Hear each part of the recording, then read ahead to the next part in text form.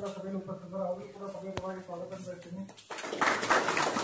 ಮತ್ತು ಇನ್ನೊಬ್ಬರು ಸದಸ್ಯರಾದ ನಿಗಮ ಸರ್ ಅವರು ಸಭೆಯಲ್ಲಿದ್ದಾರೆ ಅವರಿಗೂ ಕೂಡ ಪರವಾಗಿ ಸ್ವಾಗತ ಹೇಳ್ತೀನಿ.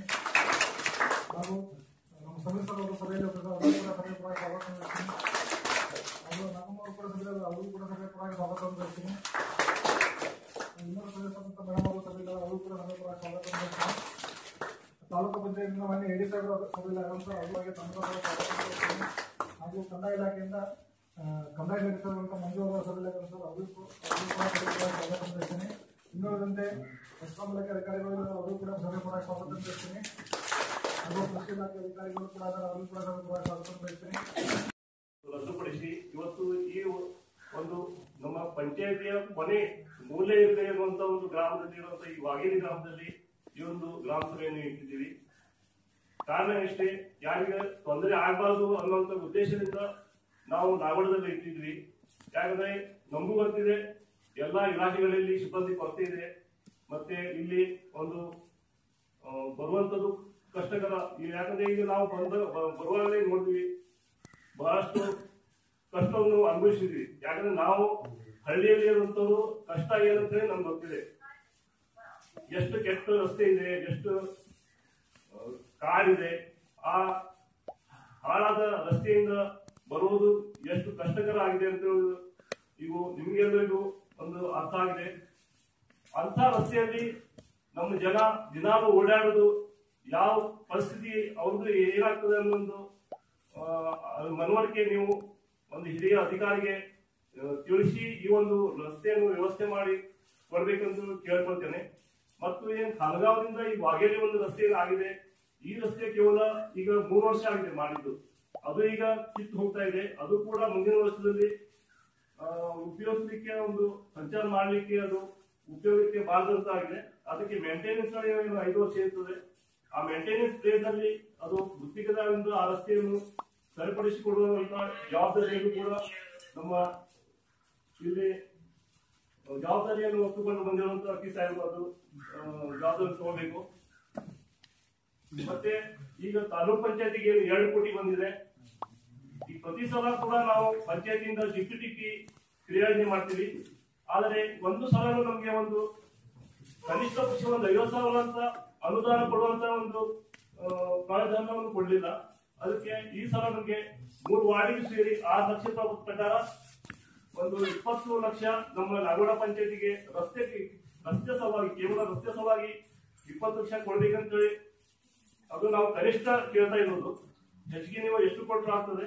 ಅದು ಕೂಡ ನಾವು ಪಂಚಾಯತಿಯಲ್ಲಿ ಕೆಲಸ ಮಾಡ್ತೀವಿ ಅಂತಲ್ಲ ಬಟ್ ನಮ್ಮ ಪಂಚಾಯತಿನ ಒಂದು ಅಭಿವೃದ್ಧಿ ದೃಷ್ಟಿಯಿಂದ ಒಂದು ಕೆಲಸ ಆಗಲಿ ಅಂತ ಹೇಳಿ ನಾವು ಕೇಳ್ಕೊತೀವಿ. ಯಾಕಂದ್ರೆ ಗಾಂಗೋಡ ಜೋಡ ತಾಲೂಕಿನಲ್ಲಿ ಗಾಂಗೋಡ ಪಂಚಾಯತಿ ನಂತರ ಹಿಂದುಳಿದ ಅಭಿವೃದ್ಧಿಯಲ್ಲಿ ಹಿಂದುಳಿದ ಪಂಚಾಯತ್ ನಮ್ದು ಗಾಗೋಡನೇ ಇರುತ್ತದೆ. ಅದಕ್ಕೆ ಒಂದು ಕನಿಷ್ಠ ಪಕ್ಷ ಇಪ್ಪತ್ತು ಲಕ್ಷ ನಾವು ವಿನಂತಿ ಮಾಡ್ತೀವಿ.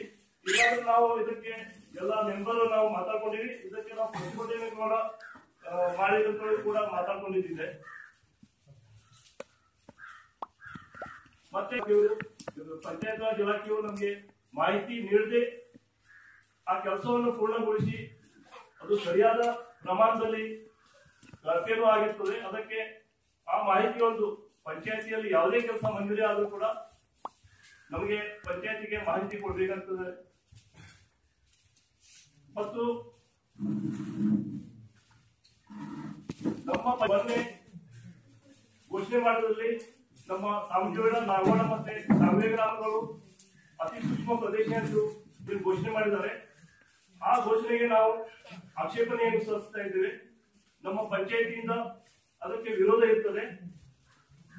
ಮತ್ತೆ ಇಲ್ಲಿ ವೈಲ್ಡ್ ನವರು ಯಾರು ಬಂದಿಲ್ಲ.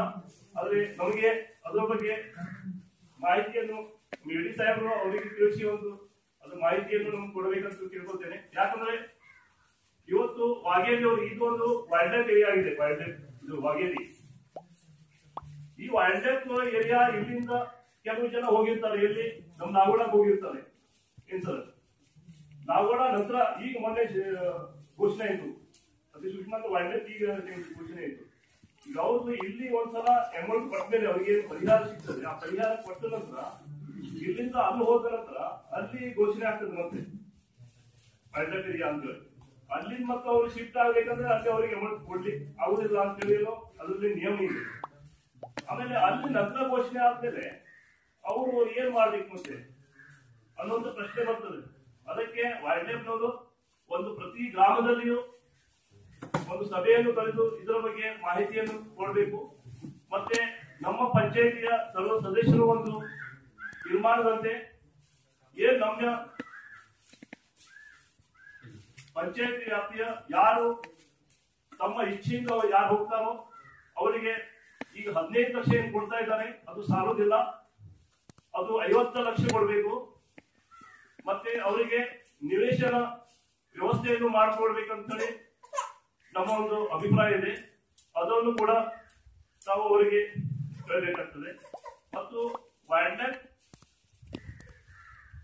ಮತ್ತು ಇಡಿಸಿ ಗ್ರಾಮ ಅರಣ್ಯ ಸಮಿತಿ ಏನಿದೆ, ಅವ್ರ ಮೂಲಕ ಜಂಟಿಯಾಗಿ ಬೋಟ್ ಸಫಾರಿಯನ್ನು ಮಾಡ್ತಾ ಇದ್ರು ನಾಗೋಡದಲ್ಲಿ. ಅದು ಕೂಡ ಇನ್ನೂ ಸ್ಥಗಿತವಾಗಿದ್ದರಿಂದ ಅದನ್ನು ಆದಷ್ಟು ಬೇಗನೆ ಪ್ರಾರಂಭ ಮಾಡಬೇಕೆಂದು ಕೇಳ್ಕೊಳ್ತೇನೆ. ಯಾಕಂದ್ರೆ ಅದರಲ್ಲಿ ರಾಜ್ಯ, ಗ್ರಾಮ ಪಂಚಾಯತಿಗೂ ಸ್ವಲ್ಪ ಶೇರ್ ಕೊಡ್ತಾ ಇರೋದ್ರಿಂದ ಗ್ರಾಮ ಪಂಚಾಯತಿ ಅಭಿವೃದ್ಧಿಗೂ ಆ ಫಂಡ್ ನಮಗೆ ಬಳಕೆ ಮಾಡ್ಲಿಕ್ಕೆ ಆಗ್ತದೆ. ಈಗ ಮುಖ್ಯವಾಗಿ ನಮ್ಗೆ ಇರುವಂತದ್ದು ಇದು ರೋಡ್ ಸಮಸ್ಯೆ.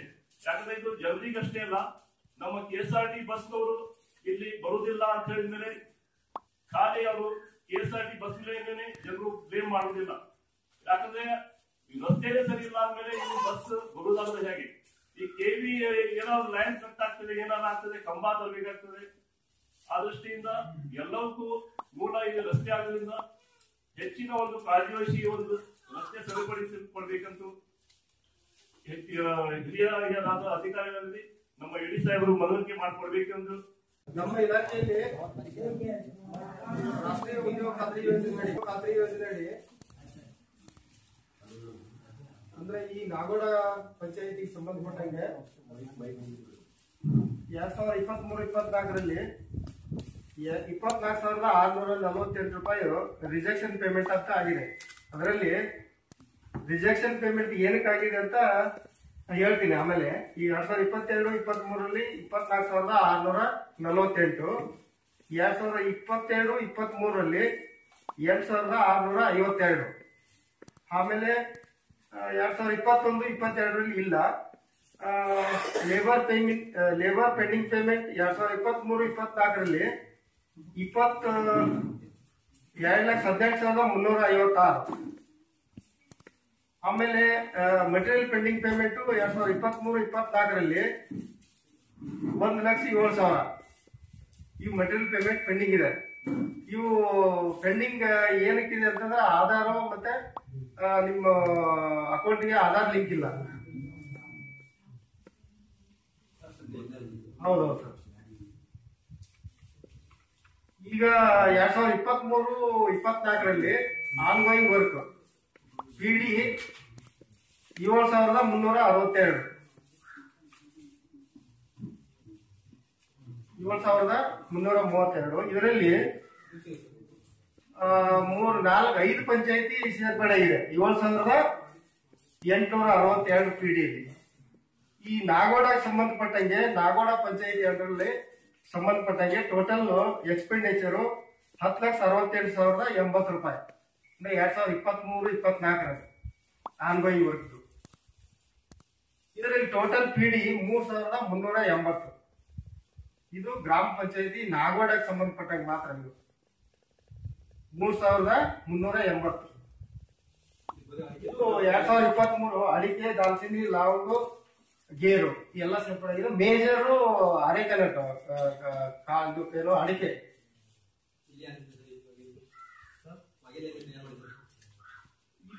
ಅವ್ರ ಲಿಸ್ಟ್ ತಂದಿದ್ದೆ ನಾನು. ನಮ್ಮ ರಾಜೇಶ್ ಇದೆ ಸರ್, ರಾಜೇಶ್, ಹಾ ಮೂರ್ನಾಲ್ಕು ಅಷ್ಟೇ ಇದೆ ಸರ್. ರಾಜೇಶ್ ಅಂತ ಹೇಳಿ ಗೌಡ ಅಂತ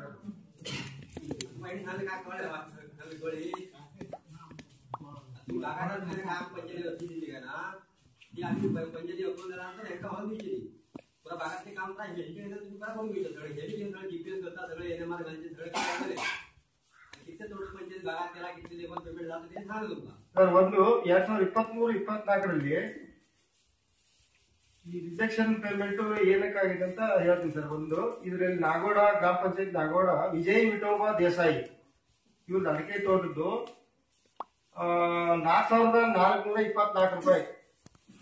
ಪೇಮೆಂಟ್ ಪೆಂಡಿಂಗ್ ಇದೆ.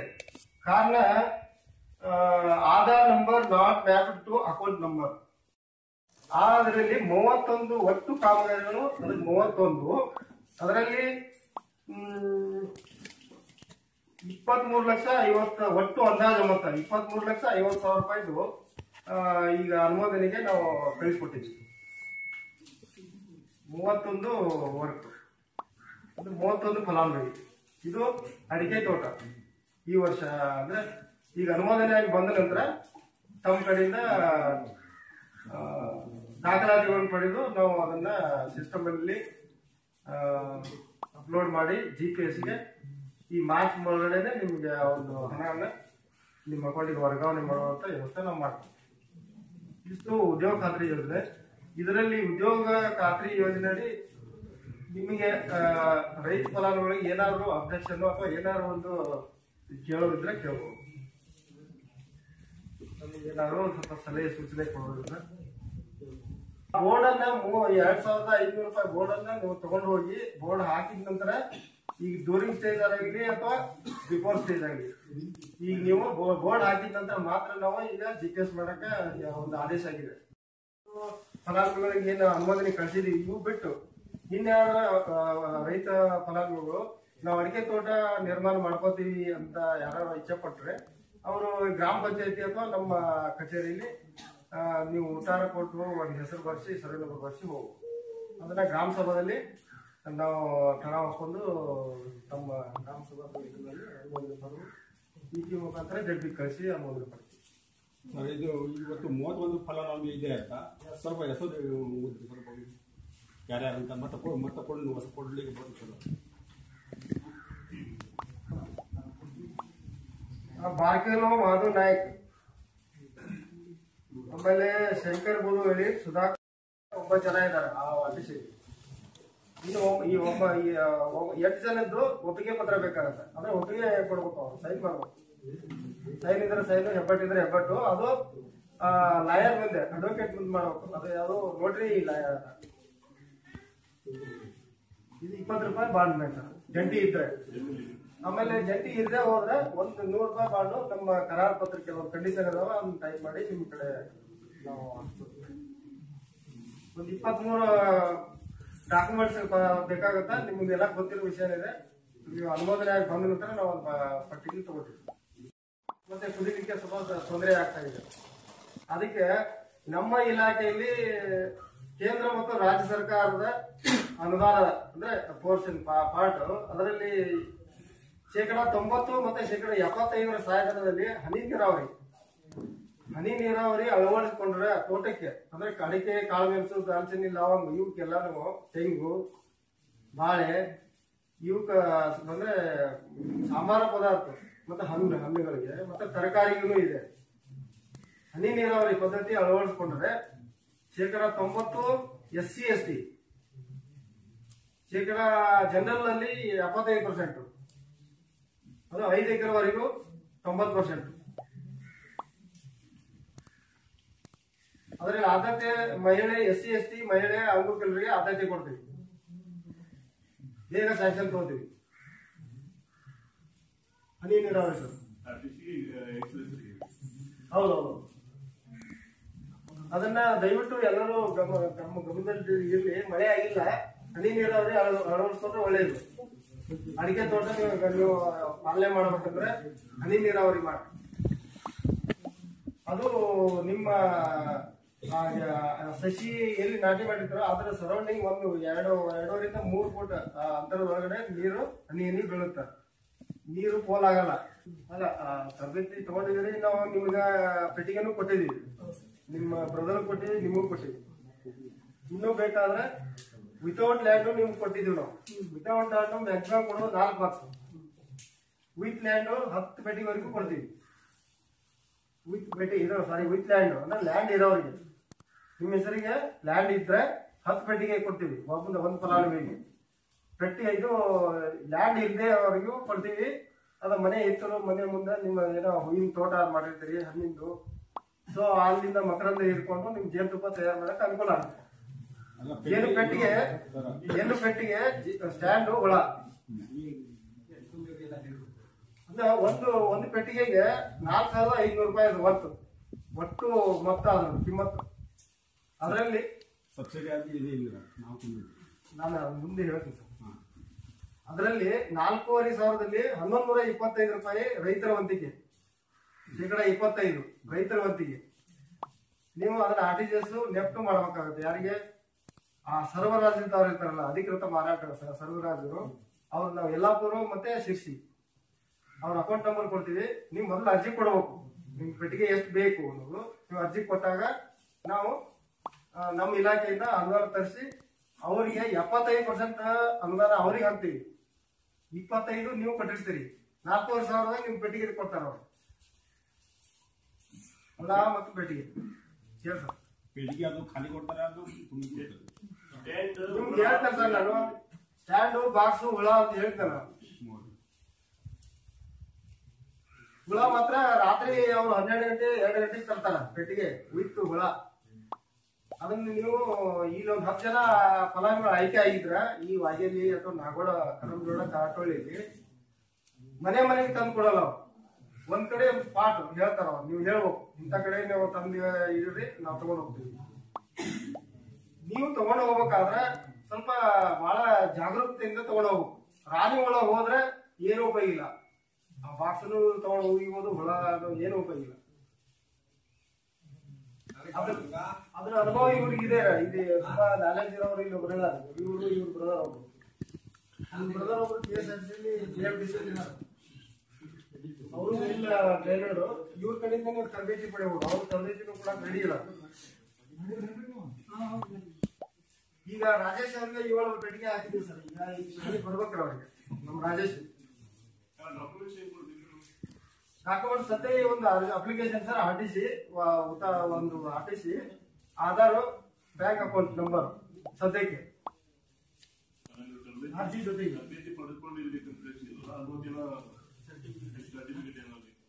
ಏನಿಲ್ಲ ಸರ್, ತರಬೇತಿ ಕೊಟ್ಟು ಸರ್ಟಿಫಿಕೇಟ್ ಕೊಟ್ಟೆ ಕೊಡ್ತಾರೆ ಸರ್. ಒಂದು ವಾರದ್ದು, ಹದಿನೈದು ದಿವಸದ್ದು, ತಿಂಗಳದ್ದು ತರಬೇತಿ ಇದಾವೆ ಸರ್. ರಾಮನಗರ ಇಲ್ಲ ಬೇರೆ ಬೇರೆ ಕಡೆ ಇದಾವೆ. ನಾವು ಕಳಿಸಿ ಕೊಡ್ತೀವಿ ಸರ್ ತರಬೇತಿ ತರಬೇತಿಗೆ ಅವ್ರಿಗೆ ಆಸಕ್ತಿ ಉಳ್ಳ ರೈತರು ಇದ್ದಾರೆ ತರಬೇತಿ ಕಳಿಸಿ, ತರಬೇತಿ ಪಡೆದು, ಒಂದು ಸರ್ಟಿಫಿಕೇಟ್ ಕೊಡ್ತೀವಿ ಸರ್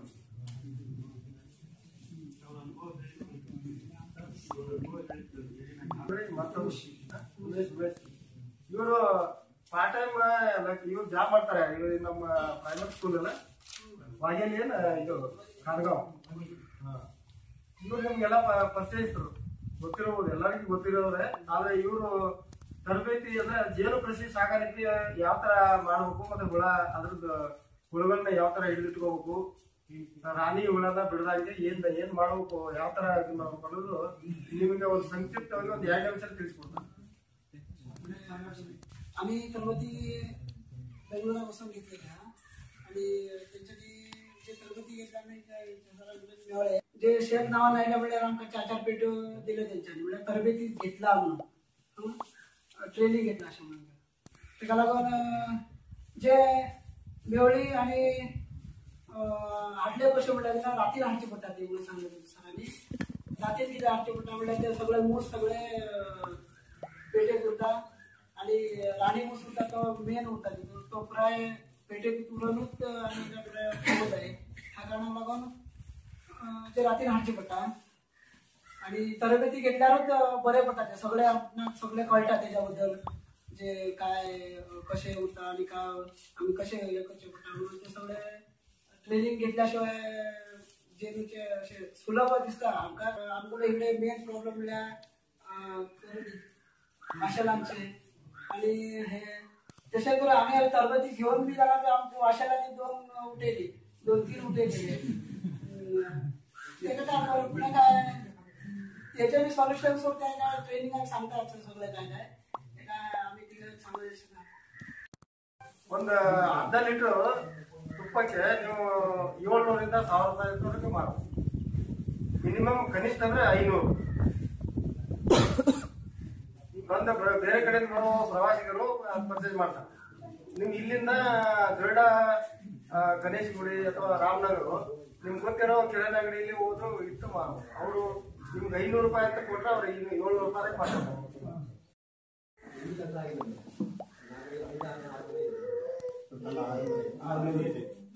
ಕಾಟೋಳಿಯಲ್ಲಿ ಎರಡು ಫಾರೆಸ್ಟ್ ಅಬ್ಜೆಕ್ಷನ್ ಇದೆ ತಡೆ ಮತ್ತೆ ಕಾಟೋಳಿಗೆ ಆ, ಆ, ಇದು ಒಂದು ಸಂತೋಷ್ ಶಿವ ಬೆಳಿಕು ಆ, ಅಲ್ಲಿಂದ ಆಮೇಲೆ ಶಾಂತಾ ಸೋಮ ಬೆಳಿಕು ಇವೆರಡು ಮನೆಗೆ ಫಾರೆಸ್ಟ್ ಅಬ್ಜೆಕ್ಷನ್ ಇದೆ ಇವ್ರ ಪಾಂಡುರಂಗ ಶಾಂಬಾ ಬೆಳಿ ಅವರಿಗೆ ತೊಂದರೆ ಇದೆ ಮೇಡಮ್ ಅವ್ರು ಮಂಜುನಾಥ್ ಬೆಳಿಪುರ ಲಕ್ಷ್ಮಣ್ ಶಾಬಾ ಬೆಳಿಪುರ ಅವ್ರ ನಿಗಾರಿ ಇಲ್ಲ ಅವ್ರ ಹೆಸರೇನು ಬಂದಿಲ್ಲ ನಮ್ಗೆ. ಇದೆ ಮೇಡಮ್ ಇಲ್ಲ ಇದೆ ಮಂಜೂರ ಇದೆ ಇದೆ ಮೇಡಮ್ ಮೊನ್ನೆ ಏನು ಅಬ್ಜೆಕ್ಷನ್ ಏನಿಲ್ಲ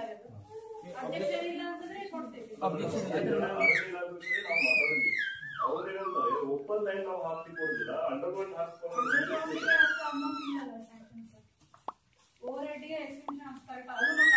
ಮಾಡ್ತಾರೆ ಅದು ನಾವು ಏನ್ ಮಾಡ್ತೀವಿ ಬೇರೆ ಕಡೆ ಯಾವ್ದೋ ಒಂದ್ ಎರಡು ರೂಪಾಯಿ ಜಾಸ್ತಿ ತೋರಿಸಿ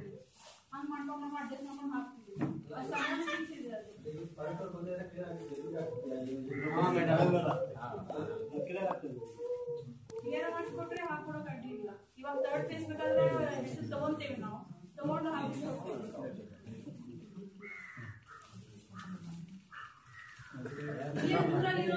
ಮನೆ ಸಪ್ಲೈ ಇಲ್ಲ ಅಂದ್ರೆ ಕೊಣಕ್ ಹೋಗಿ ಫಸ್ಟ್ ಏನ್ ಕೊಡ್ತೇನೆ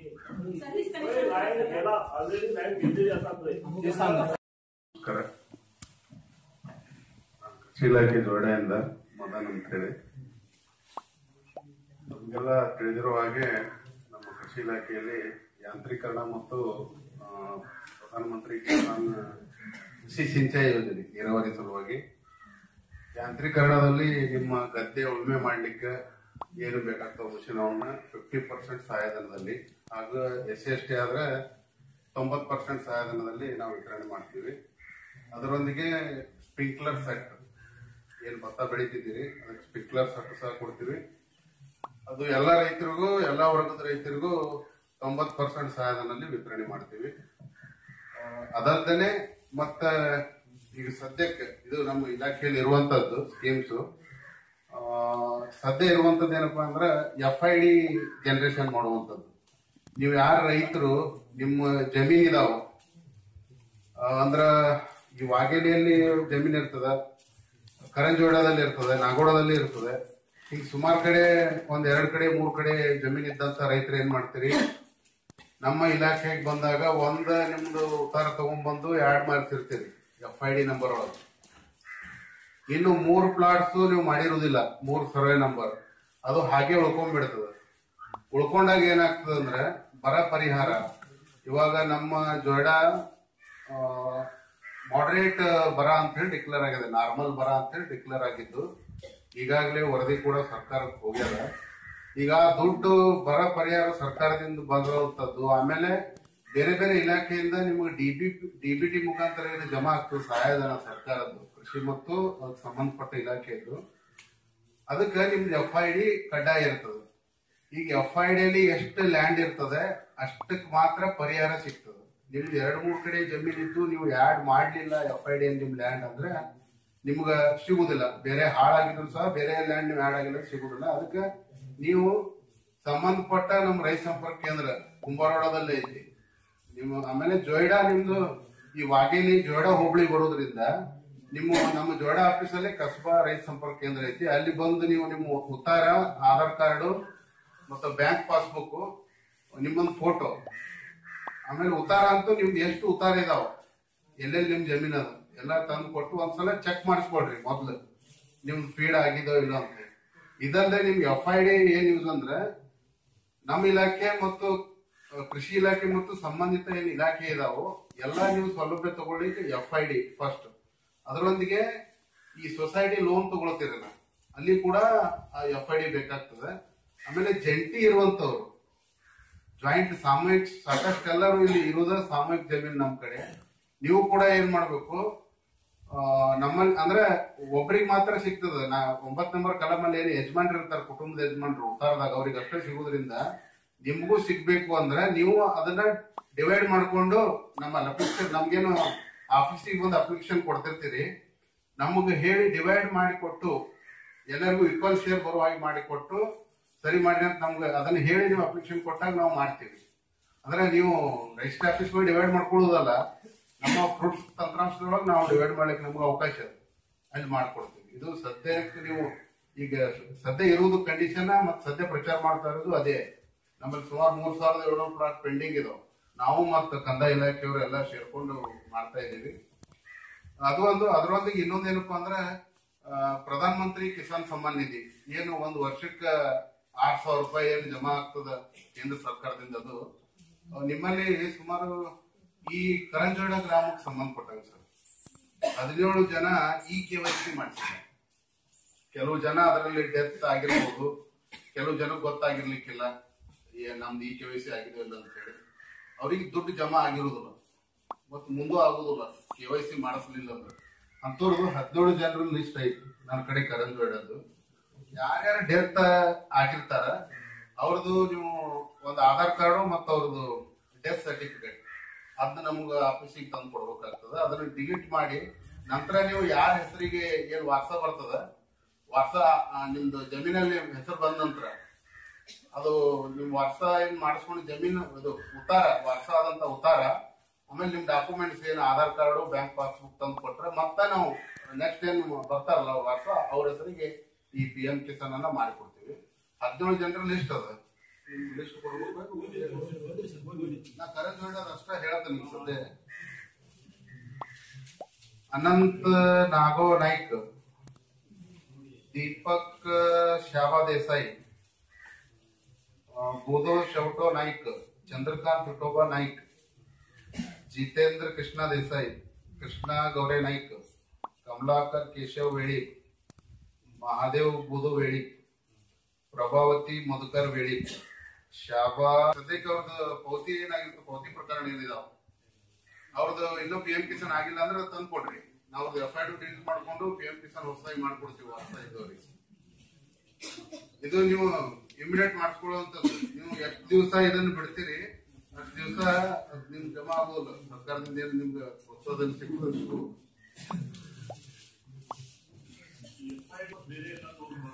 ಸರ್, ಅದು ನಮ್ಮ ಇಲಾಖೆಗೆ ಬಂದ್ ಮಾಡಿಸ್ಕೊಂಡ್ರೆ ಬೆಸ್ಟ್ ಸರ್. ಅಂದ್ರೆ ಈಗ ಗ್ರಾಮವನ್ನ ಮಾಡ್ತಾರೆ. ಆಮೇಲೆ ಕಂದಾಯದ ಇಲಾಖೆಯಲ್ಲೂ ಮಾಡ್ತಾರೆ. ನಾಡ ಕಚೇರಿಯಲ್ಲಿ ಮಾಡ್ತಾರ ಮಾಡ್ತಾರ. ಅಲ್ಲಿ ಮಾಡ್ಕೊಂಡ್ರು ಆಗ್ತದ. ಆಮೇಲೆ ನಮ್ಮ ಆಫೀಸಿಗೆ ಬಂದ್ರು ಆಗ್ತದೆ. ಈಗ ಗ್ರಾಮವನ್ನಲ್ಲಿ ಏನಾಗ್ತದೆ, ಸ್ವಲ್ಪ ಲ್ಯಾಂಡ್ ಆ್ಯಡ್ ಮಾಡೋದು ಅದು ಸರಿಯಾಗಿ ಆಗ್ತಾ ಇಲ್ಲ ನಾವು ಹಿಂದೆ ನೋಡ್ದಂಗ. ಅದಕ್ಕೆ ನೀವು ಪರ್ಫೆಕ್ಟ್ ಆಗಲಿ ಅನ್ನೋ ಉದ್ದೇಶಕ್ಕೆ ಹೇಳೋದು ಅದು ಫ್ರೀ ಆಫ್ ಕಾಸ್ಟ್ ಇರ್ತದೆ. ನೀವು ಡಾಕ್ಯುಮೆಂಟ್ಸ್ ತಂದ್ರೆ ಕೊಟ್ಟರೆ ಸಾಕು. ಅದಕ್ಕೆ ಯಾವುದೇ ರೀತಿ ಫೀಸ್ ಇರುವುದಿಲ್ಲ. ಆಧಾರ್ ಕಾರ್ಡು ನಿಮ್ದು ಉತ್ತಾರ. ಎಷ್ಟು ಉತ್ತಾರ ಅದಾವ್ರದ್ದು ಈ ಜೋಡ ತಾಲೂಕಲ್ಲಿ ಎಲ್ಲೆಲ್ಲಿ ಜನ ಅದ ಎಲ್ಲರಿಗೂ ಉತ್ತಾರ. ಅದ್ರ ಜೊತೆಗೆ ಆಧಾರ್ ಕಾರ್ಡು, ಬ್ಯಾಂಕ್ ಪಾಸ್ಬುಕ್ ಒಂದು ಫೋಟೋ ಇಷ್ಟನ್ನು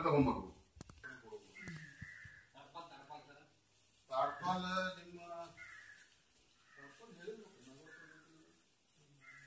ಹನ್ನೊಂದು ತಾಡ್ಪಾಲ್ ಐತಿ ನಿಮ್ಮ ಪಂಚಾಯತಿಗೆ. ಒಂದ್ ಎಸ್ ಸಿ, ಒಂದ್ ಎಸ್ ಟಿ, ಒಂಬತ್ತು general. S C, S T ಇಲ್ಲ ಅಂದ್ರೆ ಒಂಬತ್ತು ಸಿಗ್ತದೆ ಜನರಲ್ಗೆ. ಎಸ್ ಸಿ, ಎಸ್ ಟಿ ಇಲ್ಲ ಅಂದ್ರೆ ಅದನ್ನ ಅಲ್ಲೇ ಬಿಟ್ಕೊಂಡು ಬೇರೆ ಯಾವ ಪಂಚಾಯತಿಗಳು ಅವರಿಗೆ ಆರ್ನೂರ ಎಂಬತ್ತು. ಒಂದು ಸಾವಿರ ಐದ್ನೂರ ಎಪ್ಪತ್ತು ನೀವು ತುಂಬೋದು ರೈತರು ತುಂಬೋದು ಹೇಳಿ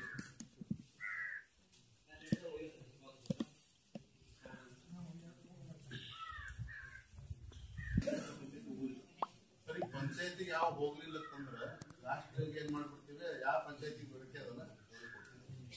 ಈಗ ನಮ್ಮಲ್ಲಿ ಏನಾಯ್ತು? ಹೋದ್ಸಲ ಒಂದು ನಮಸ್ಕಾರ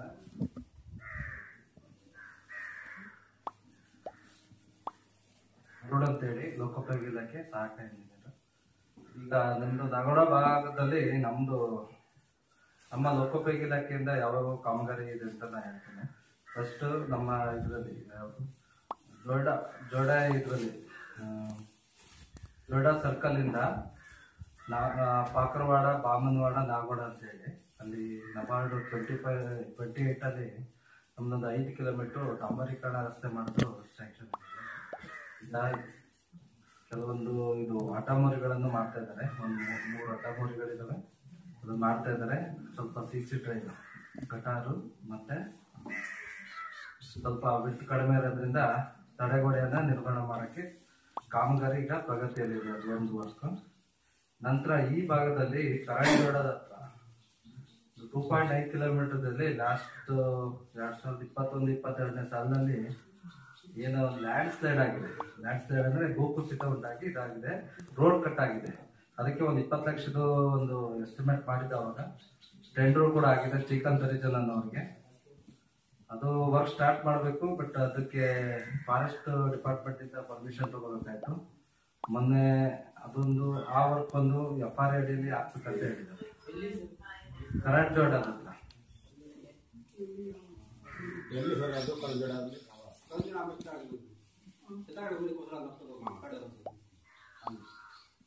ಅದ ನಂತರ ಇಲ್ಲಿ ಒಂದು ಫಾರ್ಟಿ ತ್ರೀ ಪಾಯಿಂಟ್ ಫೈವ್ ನಮ್ದು ಮೇನ್ ರೋಡ್ ಅಲ್ಲಿ. ಇಲ್ಲಿ ರೋಡ್ ಅಲ್ಲಿ ಒಂದು ಭೂಕುಸಿತ ಉಂಟಾಗಿ ರೋಡ್ ರೋಡ್ ಸಹಿತನೇ ಈಗ ಕುಸಿತ ಬಿದ್ದಿತ್ತು. ಅಲ್ಲಿಗೆ ಏನ್ ಮಾಡಿದಾರೆ ಈಗ ಅಲ್ಲಿಗೊಂದು ತಡೆಗೋಡೆ ಅಂತ, ಕಲ್ಲಿಂದು ತಡೆಗೋಡೆ ಮಾಡಿ ಮತ್ತೊಬ್ಬ ರೋಡ್ ಇಂಪ್ರೂವ್ಮೆಂಟ್ ಮಾಡೋದಕ್ಕೆ. ಅಲ್ಲೊಂದು ತೊಂಬತ್ತು ಲಕ್ಷದ ಒಂದು ವರ್ಕ್ ಸ್ಯಾಂಕ್ಷನ್ ಆಗಿದೆ.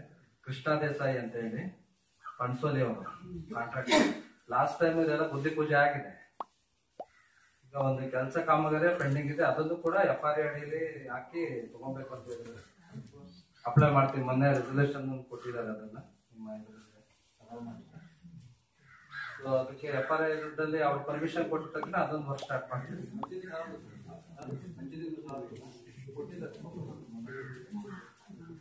ನಂತರ ಇನ್ನೊಂದು ಅಂತಂದ್ರೆ, ಇದು ನಮ್ದು ಕಾಂಗವಾಗಲಿ ಬ್ರಿಡ್ಜ್ ಒಂದು. ಲಾಸ್ಟ್ ಟೈಮು ಅದು ನಮಗೆ ಹೊಸದಾಗಿ ಅಪ್ಗ್ರೇಡ್ ಆಗಿ ಬಂದಿರೋ ರೋಡ್ ಇದು. ಅಪ್ಗ್ರೇಡ್ ಆಗಿ ಬಂದಿರೋದು ಹೊಸದಾಗಿ ಅದು ಸೇತುವೆ ಎಲ್ಲ ಸೈಡ್ ಎಲ್ಲ ಬಿದೋಗಿದೆ. ತಡೆಗೋಡೆ ಎಲ್ಲ ಬಿದೋಗಿದೆ ಯಾಕೆಂದ್ರೆ ಮಳೆ ಜಾಸ್ತಿ ಆಗಿ ಮೋಸ್ಟ್ ಇದಾಗಿರ್ಬೇಕಲ್ಲ ಮಳೆ ಜಾಸ್ತಿ ಆಗಿ ಇದಾಗಿದೆ. ಸೊ ಅದನ್ನ ಏನು ಇದನ್ನ ಅದು ಡೆಮಾಲಿಷ್ ಮಾಡಿ ಹೊಸದಾಗಿ ಹೈಟ್ ಮಾಡಿ ಬ್ರಿಡ್ಜ್ ಮಾಡ್ತಾರೆ ಅದೊಂದು ಹಂಡ್ರೆಡ್ ಲ್ಯಾಕ್ಸ್ ಸುಬ್ರಾಯ್ ನಾಯ್ಕ್ ಅಂತ ಹೇಳಿ ಕಾಂಟ್ರಾಕ್ಟ್ರು ಅಂಕೋಲಾದವರು ಇದ್ದಾರೆ ಅದೊಂದು ಮಾಡ್ತಾರೆ. ಈ ಭಾಗದಲ್ಲಿ ಅಷ್ಟು ಇರುತ್ತೆ. ಆಮೇಲೆ ನಂತರ ಈ ನಿರ್ವಹಣೆ ಇದ್ರಲ್ಲಿ ನಮ್ದು ಉಡುವಿಯಿಂದ ಸೇಮ್ ಹತ್ತತ್ರ ನಿಮ್ದು ಮೇಲೆ ಅದನ್ನ ಇವ್ರಿಗೆ ಯಾರು ನಾ ಕಲ್ಲಪ್ಪ ನಾಗ್ನೂರ್ ಅವ್ರಿಗೆ ಮುಂಡ್ಕೊಡ್ದವ್ರು ಕಾಂಟ್ರಾಕ್ಟ್ ಅವ್ರಿಗೆ ಇದಾಗಿದೆ. ಅವರು ಈಗ ಸದ್ಯಕ್ಕೆ ಜಂಗಲ್ ಕಟಿಂಗ್ ಮಾಡ್ತಾ ಇದ್ದಾರೆ ನಂತರ ಆಸ್ಪಲ್ ಪ್ಯಾಚ್ ವರ್ಕ್ ಚಾಲೂ ಮಾಡ್ತಾರೆ. ಆ ಕಡೆಯಿಂದ ಬರ್ತಾರೆ. ಇನ್ನು ಸ್ಟಾರ್ಟ್ ಮಾಡಲಿಲ್ಲ ಆಸ್ಫಾಲ್ಟ್ ಪ್ಯಾಚ್ ವರ್ಕ್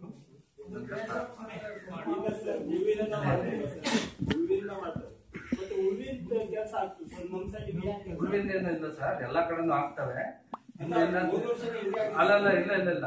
ಕೇಳಿ ಅಲ್ಲ ಅಲ್ಲೂ ಹೋಗಿ. ಅಲ್ಲೂ ನೀವು ಚಂದ್ರಾಣಿ ಕಳಸಾಯ ಕಡೆ ಹೋಗಿರಿ ಇದಕ್ಕೆ ರೋಡ್ಕಿಂತ ಅಷ್ಟ ಇಲ್ಲಿ ಅಂತಲ್ಲ ಬಟ್ ಅದೇ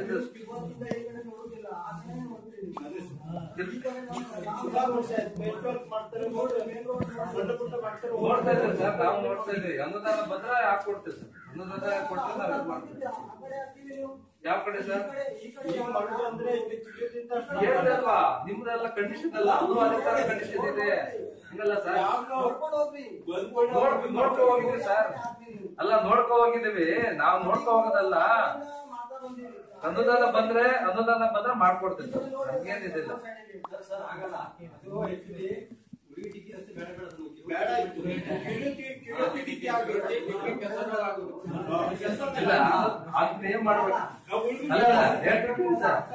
ಏನಿಲ್ಲ ಅದನ್ನ ಇದು ಈಗ ರಾಜ್ಯದಲ್ಲಿ ಇರೋದನ್ನ ಜಿಲ್ಲಾ ಮುಖ್ಯ ರಸ್ತೆಗೆ ಅದನ್ನ ಡಿಗ್ರೇಡ್ ಮಾಡ್ಬಿಟ್ಟಿದ್ರೆ ಪ್ರತಿ ವರ್ಷ ಪ್ರತಿ ವರ್ಷ ಪ್ರತಿ ವರ್ಷ ಬಟ್ಟ ಹಾಕ್ತೀರಿ ಸರ್ ಅದು ಉಳ್ವಿ ಮಾಡೋದ್ರಿಂದ ಉಳ್ವಿ ರಸ್ತೆಗೆ ಖರ್ಚಾಗ್ತದೆ ಸರಿ ಗೊತ್ತಾಯ್ತು ರೋಡ್ ಹಾಳಾಗಿದೆ ಹೌದು? ಗ್ರ್ಯಾಂಟ್ ತುಂಬಾ ಬೇಕು. ನಾವ್ ಹೇಳ್ತೀವಿ ಕೇಳಿ. ನಾವು ಸಿ ಆರ್ ಎಫ್ ಅಲ್ಲಿ ಇದಕ್ಕೆ ನಿಮ್ಗೆ ಸುಮಾರು ಹೇಳಿ. ಸರ್ ಕೇಳಿ ನಾ- ನಾ- ನನ್ಗೂ ಗೊತ್ತಿರೋದು ನಾನು ಈಗ ಒಂದು ಒಂದು ವರ್ಷ ಆಯ್ತು. ಸರಿ ಗೊತ್ತಿಲ್ಲ. ಆಯ್ತಾ? ಮೊದ್ಲಿದ್ ಏನಿದೆ ನನ್ಗೆ ಗೊತ್ತಿಲ್ಲ. ನನಗೆ ಈಗ ತಾನೇ ಹೋದ ವರ್ಷ ಕೊಟ್ಟಿದ್ದಾರೆ ನನಗೆ. ಆಯ್ತಾ? ಈಗ ಏನಿಲ್ಲ ಅಂದ್ರೆ ನಾವು ಸಿ ಆರ್ ಎಫ್ ಅಲ್ಲಿ ಪ್ರಪೋಸಲ್ ಕಳ್ಸಿದ್ವಿ. ಐವತ್ತು ಕೋಟಿ ಪ್ರಪೋಸಲ್ ಕಳ್ಸಿದ್ವಿ. ಇದಕ್ಕೆ ಸಣ್ಣ ಪುಟ್ಟದ ಅಮೌಂಟ್ ಅಂತ ಸಾಕಲ್ಲ, ಒಂದ್ ಕೋಟಿ, ಎರಡು ಕೋಟಿ ಅಂತ ಸಾಕಾಗಲ್ಲ. ನಮ್ಮ ಇದ್ರಲ್ಲಿ ಟ್ರಸ್ಟ್ ಇಂದ ನಾವು ಇಂಪ್ರೂವ್ಮೆಂಟ್ ಮಾಡ್ಕೋಬರ್ಬೇಕು ಆಯ್ತಾ? ಸೊ ಈ ಒಂದೊಂದ್ ಕೋಟಿ ಒಂದೊಂದ್ ಕೋಟಿ ಕೊಟ್ರು ಕೂಡ ನಿಮ್ ರೋಡ್ ಇಲ್ಲಿ ತೆಗೆದೇ ಮಾಡ್ಬೇಕು. ಹೊಸದಾಗಿ ಹೊಸದಾಗೆ ಮಾಡ್ಬೇಕು. ಮೇಲೆ ಒಂದು court S T B C ಮಾಡ್ತಿದೆ ಅಂದ್ರೂ ಸಾಧ್ಯ ಇಲ್ಲ. ಸೊ ಅದಕ್ಕೆ ನೆಕ್ಸ್ಟ್ ನಾವು ಪ್ರಪೋಸಲ್ ರಿಪೋರ್ಟ್ ಮಾಡಿದ್ವಿ ಮಿನಿಮಮ್ ಒಂದು ಇಪ್ಪತ್ತೈದು ಕೋಟಿನಾರು ಬೇಕು ಅಂತ ಹೇಳಿ ಅಪ್ ಟು ಕಾರ್ಟ್ ರೋಡ್ ಇದೆಯಲ್ಲ ಕಾರ್ಟ್ ರೋಡ್ ಇದೆ ಅಟ್ಲೀಸ್ಟ್ ಸುಲಾವಳಿನ ಎಲ್ಲಿದೆ? ಅಟ್ಲೀಸ್ಟ್ ಡಾಂಬರ್ ರೋಡ್ ಇದೆ. ಆ ಡಾಂಬರ್ ರೋಡ್ ತಾರು ಅಟ್ಲೀಸ್ಟ್ ರಿಟೈನ್ ಮಾಡ್ಕೋಬೇಕಂತ ಹೇಳಿ ನಾವು ಪ್ರಪೋಸಲ್ ಬಂದಾಗಲಿಲ್ಲ ಪ್ರಪೋಸಲ್ ಕೊಡ್ತಾ ಇದೀವಿ ನೆಕ್ಸ್ಟ್ ಬಂದ್ರೆ ಇದು ಎಸ್ ಎಸ್ ಡಿ ಪಿಲೆ ಅದ್ರ ಯಾವ್ದಾದ್ರು ಕೊಟ್ಟು ಮಾಡ್ಸಕ್ಕೆ ನೀವು ಇಪ್ಪತ್ತೈದು ಕೋಟಿ ರೂಪಾಯಿ ಕೋಟಿ ಬಂದು ಒಂದು ಉಳ್ವಿ ರಸ್ತೆ ಇದೆ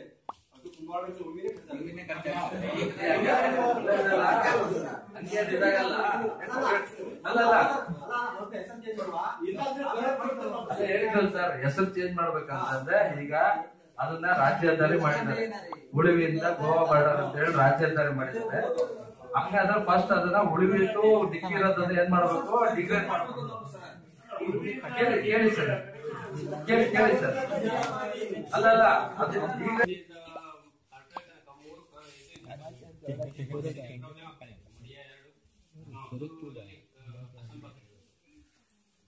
ಮಳೆಗಾಲ ಬಹಳ ತೊಂದರೆ ಸ್ವಲ್ಪ ಒಂದಾಯ್ತು ಮತ್ತು ಇಲ್ಲಿ ಕರ್ಟೋಳಿಯಿಂದ ಕಲ್ಕಮಟ್ಟ ಮರದಾಮಿಗಳು ನೀವು ಹೇಳ್ತಾ ವರ್ಷ ವರ್ಷ ಆದ್ರೆ ಕೆಲಸ ಆಗ್ತಾ ಇಲ್ಲ ಕೆಲಸ ಮತ್ತು ಕಿರುತಿಯಿಂದ ಮತ್ತೆ ಪೂರ್ತಿ ರೋಡ್ ಸುಮಾರು ಎಪ್ಪತ್ತು ಎಂಬತ್ತು ಹಳ್ಳಿಗಳು ಬರ್ತದೆ.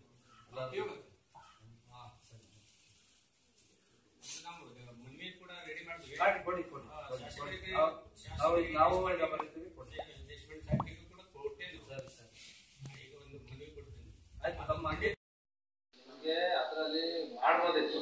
ಒನ್ ಟೈಮ್ ಇಂಪ್ರೂವ್ಮೆಂಟ್ ಅಂತ ಹೇಳಿ ಮಾಡ್ತಾರೆ. ಅಪೆಂಡಿಕ್ಸ್ ವರ್ಕ್ಸ್ ಅಲ್ಲಿ ಒನ್ ಟೈಮ್ ಇಂಪ್ರೂವ್ಮೆಂಟ್ ಹೇಗೆ ಹೇಗೆ ಅಂದ್ರೆ ನಿಮ್ದು ಕಾಂಗವಾಗೆಯಲ್ಲಿ ಮಾಡಿದ್ರು. ಟೈಮ್ ಇಂಪ್ರೂವ್ಮೆಂಟ್ ಅಂತ ಒಂದು ಬರ್ತಾರೆ ಅಪೆಂಡಿಕ್ಸ್ ವರ್ಕ್ ಅದರಲ್ಲಿ ಬಂದ್ರೆ ಅವಕಾಶ ಆದ್ರೆ ಮಾಡ್ಬೋದು. ಅಲ್ಲಲ್ಲ ಗೊತ್ತಾಯ್ತು. ಸರ್ ಅದೇ ಹೇಳ್ತಿರೋದು ನಮ್ಗೆ ಏನಾಗಿದೆ ನಮ್ ರೋಡೇ ಇದಾಗ್ತಾ ಇಲ್ಲ. ಮೇನ್ ರೋಡ್ನೇ ನಮ್ದೇ ಸಮಸ್ಯೆ ಇದೆ ಯಾಕಂದ್ರೆ ಅನುದಾನ ಸಿಗ್ತಾ ಇಲ್ಲ. ಅನುದಾನ ಬಂದ್ರೆ ಖಂಡಿತ ಮಾಡಿಸ್ಕೊಡ್ತೀವಿ ಎಲ್ಲಾ ರೋಡ್ ತಗೊಂಡ್ ಮಾಡಿಸ್ಕೊಡ್ತೀವಿ. ಅಪ್ಲಿಕೇಶನ್ ಕೊಡ್ತೀವಿ ಸರ್. ಹೌದು.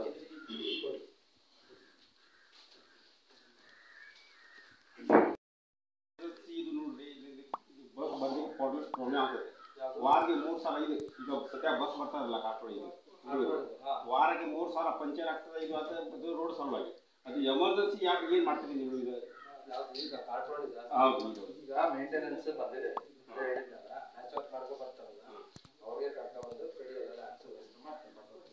ಇದು ಎಮರ್ಜೆನ್ಸಿ ಆಗ್ಬೇಕು. ಇಲ್ಲದ ನೋಡ್ರಿ. ಇಲ್ಲ ಇಲ್ಲ ಮಾಡಿಸ್ತಾರೆ. ಒಂದು ವಾರ ಹದಿನೈದು ದಿನ ಹದಿನೈದು ದಿನದಲ್ಲಿ ಮಾಡಿಸ್ತಾರೆ. ಹಾ.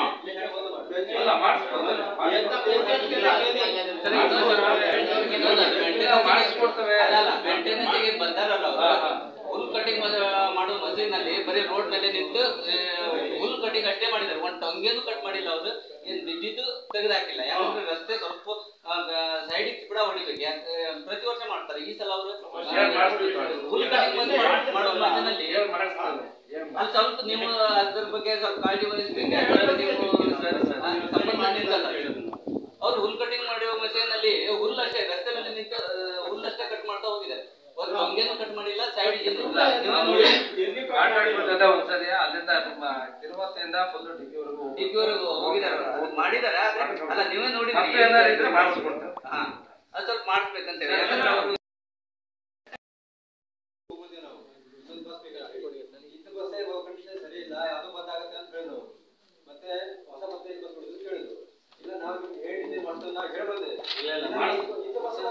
ಮಾಡಿಸ್ತೀವಿ ನಾರ್ಮಲಿ ನಿಮಗೆ ಕ್ರಾಸ್ ನಿಮಗೆ ತೊಂದರೆ ಇಲ್ಲ. ಇಲ್ಲಿ ಬರ್ತದೆ. ಬಟ್ ನಿಮಗೆ ಅಲ್ಲಿ ಕಾಟ್ ರೋಡಿಂದ ಮೋಸ್ಟ್ಲಿ ಸ್ವಲ್ಪ ಇದಾಗ್ಬೋದು. ತೊಂದ್ರೆ ಆಗ್ಬೋದು. ಗಡಿ ಹೌದಾ?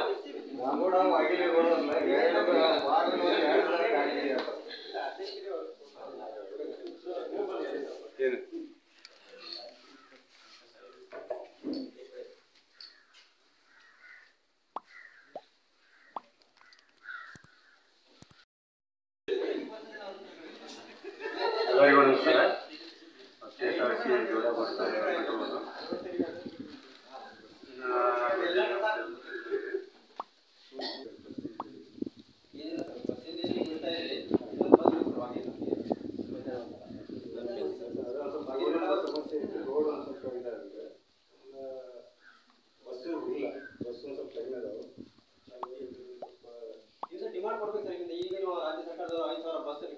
ಸಮಸ್ಯೆ ಇದೆ ರೋಡ್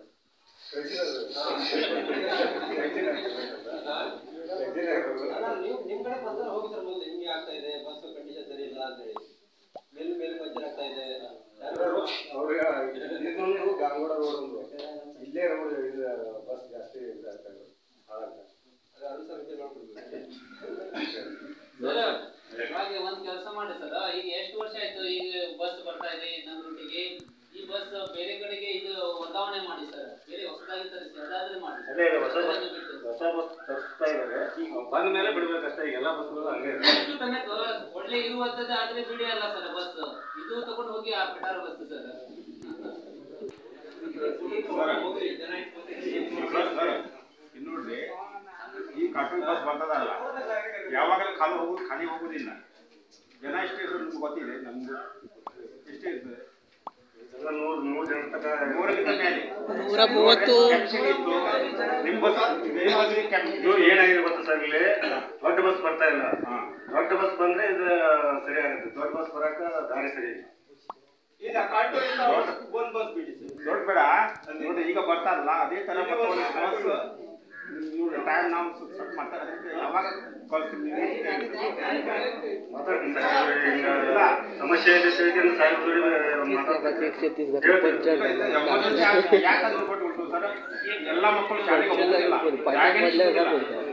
ನೂರ ನೂರ ಇಪ್ಪತ್ತು ಜನ ಇರ್ತದೆ ಜನ ನೋಡ್ರಿ ಶಾಲೆಗೆ ಮೂವತ್ತ್ ನಾಲ್ಕು ಸ್ವಲ್ಪ ದಿನ ಡೇಲಿ ಮಕ್ಕಳು ಹೋಗೋದಿಲ್ಲ ಸಮಸ್ಯೆ ಇದೆ ಜೀಪ್ ಮೇಲೆ ಹೋಗ್ತಾರೆ ಮತ್ತೆ ಏನು ಏನು ಸಾಹೇಬ್ ಜೋಡಿ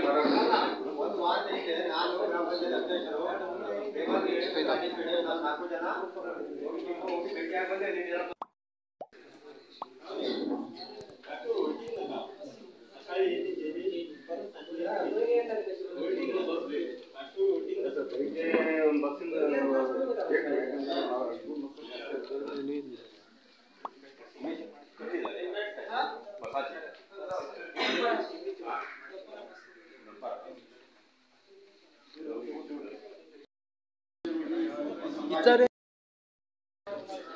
ಎಲ್ಲರಿಗೂ ನಮಸ್ಕಾರ. ನಾನು ಎಸ್ ಎಸ್ ಹೊಸ್ಮನಿ ಅಂತ assistant engineer R W S ವಿಭಾಗ ಜೈಡ ಟೋಟಲಿ ಗ್ರಾಮ ಪಂಚಾಯತಿಯಲ್ಲಿ ಜೆ ಜಿ ಎಮ್ದಲ್ಲಿ ಎಂಟು ನಾವು ಅದರಲ್ಲಿ ಮೂರು ಕಂಪ್ಲೀಟ್ ಆಯಿತು. ಒಂದು ಆನ್ಗೋಯಿಂಗ್ ಇದೆ ಅಂದ್ರೆ ಅಂಡರ್ ಪೋಲಿಸ್ ಕಂಪ್ಲೀಟ್ ಆದದ್ದು ಚಾಪೇಲಿ ಆಮೇಲೆ ಗೋಕುಲ ಆಮೇಲೆ ಕಸ್ಕೋಲ್ ಕಂಪ್ಲೀಟ್ ಆಗಿದೆ ಸ್ಕಿಲ್ ಕಂಪ್ಲೀಟ್ ಆಗಿದೆ ಸಣ್ಣ ಪುಟ್ಟ ಟ್ಯಾಂಕ್ ಕಟ್ಟಿರಲಿ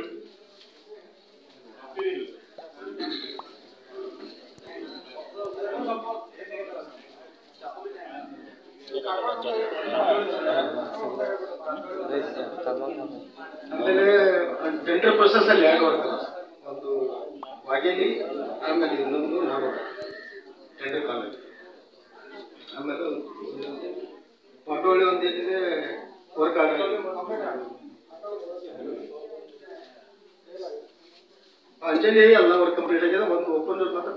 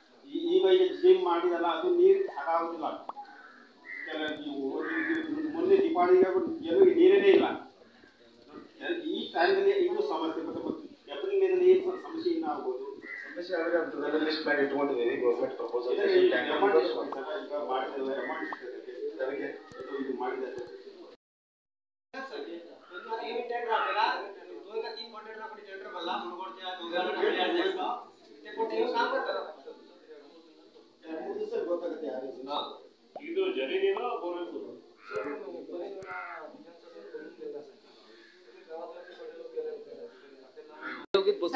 ಇಲಾಖೆದು ಕಾರ್ಯಕ್ರಮಗಳು ಮುಖ್ಯವಾಗಿ ನಮ್ಮಲ್ಲಿಂದ ಹಾಸ್ಟೆಲ್ ಫೆಸಿಲಿಟೀಸ್.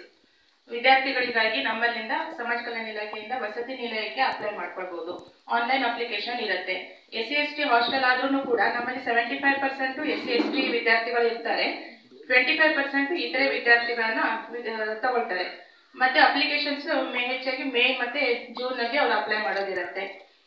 ಅದರ ನಂತರ ಪ್ರಿ ಮೆಟ್ರಿಕ್ ಪೋಸ್ಟ್ ಮೆಟ್ರಿಕ್ ಈಗ ಉನ್ನತ ಶಿಕ್ಷಣ ಮಕ್ಕಳಿಗೆ ಬೇಕಾದಲ್ಲಿ ತಾವು ಇಲ್ಲಿ ಸಿಗದೆ ಇದ್ರು ಜೋಡ ತಾಲೂಕಿನಲ್ಲಿ ಇಲ್ಲದೆ ಇದ್ರು ಕೂಡ ತಮ್ಗೆ ಎಲ್ಲಿ ಬೇಕು, ಶಿರ್ಸಿ, ಕಾರವಾರ ಈ ತರ ಅಪ್ಲೈ ಮಾಡಿದ್ರೆ ಅವರಿಗೆ ಸಿಗುತ್ತೆ ಹಾಸ್ಟೆಲ್ ಅಲ್ಲಿ admission S C, S T apply ಮಾಡಿದ್ರೆ ಅವ್ರು ಎಲ್- ಎಲ್ಲಿ ಅಪ್ಲೈ ಮಾಡಿದ್ರು ಕೂಡ ಅವರಿಗೆ ಸೀಟ್ ಇಲ್ಲ ಅಂತ ಹೇಳಲಿಕ್ಕಾಗಲ್ಲ, ಅವರಿಗೆ ಸೀಟು ಸಿಕ್ಕೇ ಸಿಗತ್ತೆ. ಆಮೇಲೆ ಎರಡನೇದಾಗಿ ನಮ್ಮಲ್ಲಿಂದ scholarships S C S T scholarships ಎಲ್ಲ ನಮ್ಮ ಆಫೀಸಿಂದ ಮಂಜೂರಾಗತ್ತೆ. ಇತರೆ ವಿದ್ಯಾರ್ಥಿಗಳದ್ದು ಸ್ಕಾಲರ್ಶಿಪ್ ಇದ್ರೆ ಅದು ಬಿ ಸಿ ಎಂ ಇಂದ ಅಪ್ಲೈ ಮಾಡ್ಬೇಕಾಗತ್ತೆ. ನಮ್ಮಲ್ಲಿ ಒಂದ್ಸಲ ಅಪ್ಲೈ ಮಾಡಿದ್ರೆ ಪ್ರಿ ಮೆಟ್ರಿಕ್ನಲ್ಲಿ ಒನ್ ಟು ಟೆಂತ್ ಸ್ಕಾಲರ್ಶಿಪ್ ಮಂಜೂರಾಗುತ್ತೆ. ಒಂದ್ಸಲ ಅಪ್ಲೈ ಮಾಡಿದ್ರೆ ಅದು ಆಟೋಮೆಟಿಕ್ ಆಗಿ ರಿನ್ಯೂವಲ್ ಆಗ್ತಾ ಹೋಗ್ತದೆ ಮಕ್ಕಳದು ಅಕಸ್ಮಾತ್ ಏನಾದ್ರೂ ಅವರು ಐದು ವರ್ಷಕ್ಕೊಮ್ಮೆ ಆಧಾರ್ ಕಾರ್ಡ್ ಆಗಲಿ ಅಥವಾ ಇನ್ಕಮ್ ಅಪ್ಡೇಟ್ ಮಾಡ್ಕೊಂಡ್ರೆ ಅವಾಗ ಒಂದ್ಸಲ ಬಂದು ಅವರು ಚೆಕ್ ಮಾಡ್ಕೊಳ್ಬೇಕಾಗತ್ತೆ, ಮತ್ತೆ ಪಾಸ್ಬುಕ್ ಪಾಸ್ಬುಕ್ ಅಪ್ಡೇಟ್ ಮಾಡ್ಕೊತಾ ಇರಬೇಕು. ಕೆ ವೈ ಸಿ ಅಪ್ಡೇಟ್ ಇರಬೇಕು. ಅಂದ್ರೆ ಅವರು ವಿದ್ಯಾರ್ಥಿಗಳ ಅಕೌಂಟಿಗೆ ಡಿ ಬಿ ಮೂಲಕ ನೇರವಾಗಿ ಅವರ ಅಕೌಂಟಿಗೆ ದುಡ್ಡು ಜಮಾ ಆಗ್ತಾ ಇರ್ತದೆ. ಪೋಸ್ಟ್ ಮೆಟ್ರಿಕ್ ಅದೇ ತರ. ಪೋಸ್ಟ್ ಮೆಟ್ರಿಕ್ ಸ್ಕಾಲರ್ಶಿಪ್ಸ್ ಅಪ್ಲೈ ಮಾಡ್ಬೋದು ಮಕ್ಕಳು ಮೂರನೇದಾಗಿ ನಮ್ಮಲ್ಲಿ ಪ್ರೈಸ್ ಮನಿ ಇರುತ್ತೆ. ಎಸ್ ಎಸ್ ಎಲ್ ಸಿ ಮತ್ತು P U C degree engineering ಇತರೆ ಉನ್ನತ ವ್ಯಾಸಂಗದ ಕೋರ್ಸ್ಗಳಲ್ಲಿ ಹೆಚ್ಚಿನ ಮಾರ್ಕ್ಸ್ ಪಡೆದಂತಹ ವಿದ್ಯಾರ್ಥಿಗಳು ಸೆವೆಂಟಿ ಫೈವ್ ಪರ್ಸೆಂಟ್ ಆಗಿರ್ಬೋದು ಅಥವಾ ಅದಕ್ಕಿಂತ ಹೆಚ್ಚು ಮಾರ್ಕ್ಸ್ ಪಡೆದಿದ್ರೆ ಅವರಿಗೆ ನಮ್ಮಲ್ಲಿಂದ ಪ್ರೈಸ್ ಮನಿ ಸಿಗತ್ತೆ. ಎಸ್ ಎಸ್ ಟಿ ವಿದ್ಯಾರ್ಥಿಗಳಾದ್ರೆ ನಮ್ಮಲ್ಲಿಂದ ಸಿಗತ್ತೆ. ಎಸ್ ಎಸ್ ಎಲ್ ಸಿ ನಲ್ಲಿ ಸಿಕ್ಸ್ಟಿ ಪರ್ಸೆಂಟ್ ಸೆವೆಂಟಿ ಫೈವ್ ಮಾಡಿದವರಿಗೆ ಏಳುವರೆ ಸಾವಿರ. ಅದಕ್ಕಿಂತ ಹೆಚ್ಚು ಮಾಡಿದವರಿಗೆ ಹದಿನೈದು ಸಾವಿರ ಸಿಗತ್ತೆ. ಅದೇ ರೀತಿ ಡಿಗ್ರಿ ಕೋರ್ಸ್ ಇಂಜಿನಿಯರಿಂಗ್ ಮಾಡಿದವರಿಗೆಲ್ಲ ಇಪ್ಪತ್ತು, ಇಪ್ಪತ್ತೈದು ಮ್ಯಾಕ್ಸಿಮಮ್ ಮೂವತ್ತೈದು ಸಾವಿರ ತನ ಅವರಿಗೆ ಪ್ರೋತ್ಸಾಹ ಧನ ಸಿಗತ್ತೆ. ಆಮೇಲೆ ಕಾನೂನು ಪದವೀಧರರು. ಕಾನೂನು ಪದವಿ ಲಾ ಗ್ರಾಜುಯೇಟ್ಸ್ ಇರ್ತಾರೆ ಎಸ್ ಎಸ್ ಟಿ ವಿದ್ಯಾರ್ಥಿಗಳು. ಅವರು ತರಬೇತಿ ಪಡೆಯುತ್ತಿರುವ ಸಮಯದಲ್ಲಿ ಎರಡು ವರ್ಷಗಳ ಕಾಲ ಅವರಿಗೆ ಶಿಷ್ಯವೇತನ ಸಿಗ್ತದೆ. ಹತ್ತತ್ತು ಸಾವಿರದಂತೆ ಮಾಸಿಕ ಎರಡು ವರ್ಷದ ತನಕ ಅವರಿಗೆ ಸಿಗತ್ತೆ. ಅದರ ನಂತರ ನಮ್ಮಲ್ಲಿ ಅಂತರ್ಜಾತಿ ವಿವಾಹ ಇರುತ್ತೆ. ಅಂತರ್ಜಾತಿ ವಿವಾಹ ಪ್ರೋತ್ಸಾಹ ಧನ ಅಂತರ್ಜಾತಿ ವಿವಾಹದಲ್ಲಿ ಪತಿ ಪತ್ನಿಯರಲ್ಲಿ ಒಬ್ರು ಎಸ್ ಸಿ ಅಥವಾ ಎಸ್ ಟಿ ಕಾಸ್ಟಿಗೆ ಸೇರಿದ್ದು, ಇನ್ನೊಬ್ರು ಒ ಬಿ ಸಿ ಕಾಸ್ಟಿಗೆ ಸೇರಿದ್ದಿದ್ರೆ ಅವರಿಗೂ ಕೂಡ ನಮ್ಮಲ್ಲಿಂದ ಎರಡೂವರೆಯಿಂದ ಮೂರು ಲಕ್ಷದ ತನಕ ಪ್ರೋತ್ಸಾಹ ಧನ ಸಿಗುತ್ತೆ. ಇವಾಗ ಅಪ್ಲಿಕೇಶನ್ ಸದ್ಯಕ್ಕೆ ಒಂದು ಕರೆದಿದ್ದಾರೆ. ಉದ್ಯಮಶೀಲತಾ ಚಟುವಟಿಕೆ. ಏನಾದರೂ ಇದು ಸಾಲ ಸೌಲಭ್ಯ ಬೇಕಾದ್ರೆ ಸಬ್ಸಿಡಿ ಇರತ್ತೆ. ಫಿಫ್ಟಿ ಪರ್ಸೆಂಟು ಸಬ್ಸಿಡಿ ಇರತ್ತೆ. ಫಿಫ್ಟಿ ಪರ್ಸೆಂಟು ನಾಲ್ಕು ಪರ್ಸೆಂಟ್ ಬಡ್ಡಿ ದರದಂತೆ ಎಸ್ ಸಿ, ಎಸ್ ಟಿ ಜನರಿಗೆ ಸಾಲ ಸೌಲಭ್ಯ ಅಪ್ಲಿಕೇಶನ್ ಲಾಸ್ಟ್ ಡೇಟ್ ಇಪ್ಪತ್ತೊಂಬತ್ತನೇ ತಾರೀಕಿದೆ ಗಂಗಾ ಕಲ್ಯಾಣ, ಅಂಬೇಡ್ ಅಂಬೇಡ್ಕರ್ ಅಭಿವೃದ್ಧಿ ನಿಗಮ, ಕಾರವಾರ.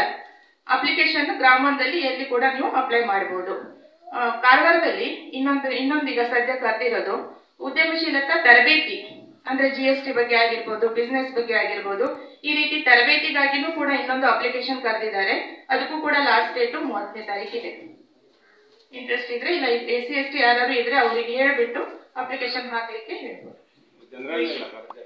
ಜನರಲ್ ನಮ್ಮಲ್ಲಿಂದ ನಮ್ಮ ಇಲಾಖೆಯಿಂದ ಬರೋದಿಲ್ಲ ಸರ್. ಸಮಾಜ ಕಲ್ಯಾಣ ಇಲಾಖೆಯಿಂದ ನಮ್ದು ಎಸ್ ಸಿ ಎಸ್ ಟಿಗೆ ಏನಿರಲಿ ಸೌಕರ್ಯ ಅವಷ್ಟು ನಾವು ಹೇಳ್ತೀವಿ.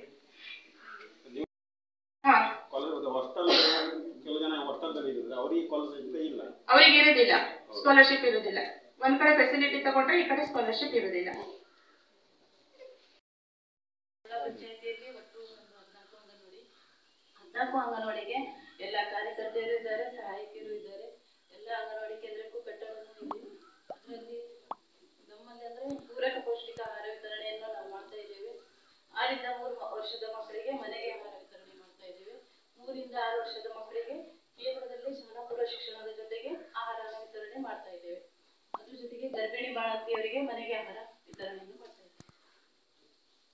ಆಹಾರ ವಿತರಣೆಯಲ್ಲಿ ಏನಂದ್ರೆ ನೀವು ಭೇಟಿನೇ ನೀಡ್ತಾ ಇಲ್ಲ ಮೇಡಮ್ ಇನ್ನು ಅಲ್ರಿ ಮೇಡಮ್ ಟೈಮಿಂಗ್ ಟೈಮಿಂಗ್ ಎಷ್ಟು ಗಂಟೆಗೆ ಬರ್ತಾರೆ ಅವರು? ಕಾರ್ಯಕರ್ತರು ಎಷ್ಟು ಬರ್ತಾರೆ? ಈಗ ಎಲ್ಲರೂ ನಮ್ಮ ನಮ್ಮ ಆ ಏರಿಯಾದಲ್ಲಿ ಕಾರ್ಯಕರ್ತೆಯರು ಈ ಯೋಜನೆಯನ್ನೇ ಎಲ್ಲರೂ ಒಂದು ಯಾವ ರೀತಿ ಯಾವ್ಯಾವ ಫಲಾನುಭವಿಗೆ ಕೊಡ್ತಾ ಇದ್ದೀವಿ. ಅದೇ ರೀತಿ ಮಾತೃ ವಂದನೆ ಯೋಜನೆ ಗರ್ಭಿಣಿ ಬಾಣಂತಿ ಆರೈಕೆ. ಐದು ಸಾವಿರ ಅವ್ರ ಖಾತೆಗೆ ಜಮಾ ಆಗ್ತಾ ಇದೆ. ಗೃಹಲಕ್ಷ್ಮಿ ಏನು sir C D P login ನಲ್ಲಿದೆ ಮಾತ್ರ ಸಿ ಡಿ ಪಿ ಆಫೀಸಿಗೆ ಬಂದು ಆರ್ ಸಿ ನಂಬರ್ ಕೊಡ್ಬೇಕು. ಮೇಡಮ್ ಅದು ಭಾಗ್ಯಲಕ್ಷ್ಮಿ ಬಾಂಡ್ ಏನಾಯ್ತು? ಭಾಗ್ಯಲಕ್ಷ್ಮಿ ನಡೀತಾ ಇದೆ ಸರ್ ಅದು. ಹಾಂ ಹಾಂ ಅಂದ್ರೆ ಈ ಬಾಂಡ್ ಬರ್ತಾ ಇಲ್ಲ. ಪೋಸ್ಟಿಗೆ ಕೊಟ್ಟಿದ್ದೇವೆ ಅದು ಸುಕನ್ಯಾ ಸಮೃದ್ಧಿ ಯೋಜನೆ ಪಾಸ್ಬುಕ್. ಇಲ್ಲ ಎರಡು ಮೂರು ವರ್ಷ ಆಯ್ತು ಅದ್ರ ಮೇಲೆ ಏನೂ ಬರಲಿಲ್ಲ ಅಂತ ಹೇಳ್ತಾರೆ ಇಲ್ಲ ಇಪ್ಪತ್ತೊಂದರಿಂದ ಇಪ್ಪತ್ತೊಂದರವರೆಗೆ ಬಂದದೆ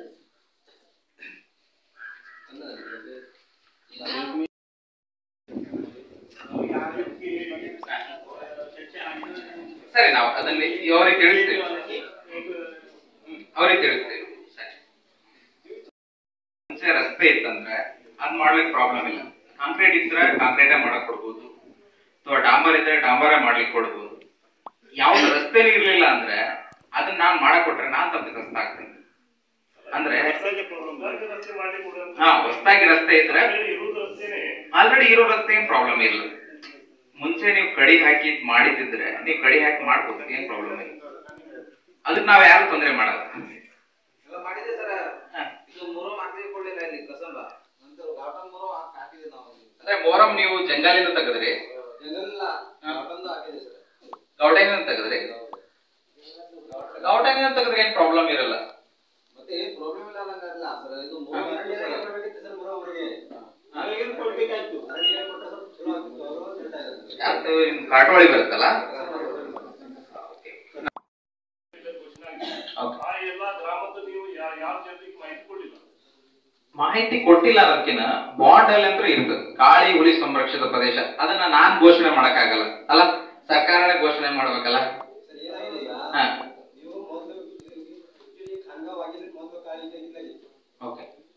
ಹೌದು ಮುಂಚೆ ರೆಗ್ಯುಲರ್ ಇತ್ತು ರೆಗ್ಯುಲರ್ ಇತ್ತು. ಹೌದು. ಈಗ ಒಂದು ಡ್ಯಾಮ್ ನೀರು ಈ ಕಡೆ ಆಯ್ತು ಹ್ಮ್. ಈಗ ನಾಗವಾಡ ಒಂದು ಪಾಂಚಲಿ ಒಂದು ಎಲ್ಲ ಬರ್ತಾ ಇದೆ. ಹ್ಮ್ ಈಗ ನಿಮ್ಮ ಆಕ್ಚುಲಿ ನಿಮ್ಗೆ ಎರಡು ಗಂಟೆ ಕೂಡ ಶಿಫ್ಟ್ ಆಗಿ ಹೋದರೆ ಹೊಲ ಎಲ್ಲ ತಗೊಂಡು ಹೋದ್ರೆ ಸೆಟ್ ಆಗಿದ್ದಾರೆ ಹೌದು. ಮತ್ತೆ ಈಗ ಅಲ್ಲಿ ಬಂದು ನಿಮ್ದು ಬ್ಯಾಂಡ್ ಬ್ಯಾಂಡ್ ಅಂತ ಮತ್ತೆ ಅವ್ರು ಶಿಫ್ಟ್ ಆಗಿದ್ದಾರೆ ಅಂದ್ರೆ ಈಗ ನೋಡ್ರಿ. ಈ ತರ ಸಮಸ್ಯೆಗಳು ಬಂದಾಗ ಫಸ್ಟ್ ಆಫ್ ಆಲ್ ಅದನ್ನ ನ್ಯಾಷನಲ್ ಪಾರ್ಕ್ ಅಥವಾ ಕಾಳಿ ಟೈಗರ್ ರಿಸರ್ವ್ ಅಂತ ಹೇಳಿ ಘೋಷಣೆ ಮಾಡ್ಲಿಕ್ಕೆ ಅವ್ರು ಯೋಚನೆ ಮಾಡ್ಬೇಕು ಹಂಗಿದ್ದಾಗ ಫಸ್ಟ್ ಯೋಚನೆ ಮಾಡ್ಬೇಕು ಅವ್ರು. ಹಂಗ್ ಮಾಡಿದಾಗ ಕೊನೆಗೆ ಅವ್ರಿಗೆ ಏನ್ ಮಾಡ್ಬೇಕಾಗತ್ತಂದ್ರ ಮತ್ತೆ ಪರಿಹಾರ ಕೊಡ್ಬೇಕಾಗತ್ತ ಅವ್ರು. ಮತ್ತೆ ಕೊಡ್ಬೇಕಾಗತ್ತೆ. ಯಾಕಂದ್ರೆ ಅವ್ರು ಅಲ್ಲೋಗಿ ಈಗ ನೀನ್ ಆಗೋಡಕ್ಕೆ ಇಲ್ಲಿಂದ ಹೋಗಿರ್ತಾರಂದ್ರೆ ಅವ್ರು ಹತ್ತು ಹದಿನೈದು ಲಕ್ಷ ಕೊಟ್ಟು ಆಸ್ತಿ ಹಿಡಿದಿರ್ತಾರೆ ಅಲ್ಲ? ಪುಕ್ಷಟೆ ಹಿಡಿದಿರಲ್ಲ. ಹಂಗಂದ್ಮೇಲೆ ಅವ್ರಿಗೆ ಕೊಡ್ಲೇಬೇಕಾಗ್ತದೆ. ಕೊಡ್ಲೇಬೇಕಾಗ್ತದೆ. ಅದನ್ನ ಫಸ್ಟ್ ಆಫ್ ಆಲ್ ಒಬ್ಬ ಡಿ ಎಫ್ ಹೇಗೆ ಹೌದು. ಆ ಯೋಜನೆ ಬಗ್ಗೆ ನೀವು ವಿಸ್ತೃತವಾದ ಮಾಹಿತಿ ನೀವು ಪಡ್ಕೊಂಡು ಬಂದಿದ್ರಿ ಹಾ. ಅದಕ್ಕೆ ಅಂತ ಹೇಳಿ ಒಂದು ಒಂದು ವಿಭಾಗ ಇದೆ. ರೀಲೊಕೇಶನ್ ಅಂತ ಹೇಳಿ ಸಪರೇಟ್ ಆಗಿ ಒಂದು ವಿಭಾಗ